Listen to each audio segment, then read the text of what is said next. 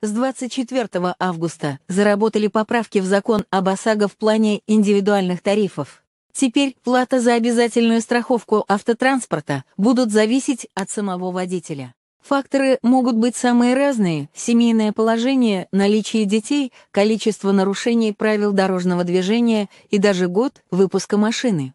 Иными словами, цена на ОСАГО будет зависеть от величины фактического риска. Подробнее о том, насколько уменьшится стоимость страхового полиса, читайте в наших новостях.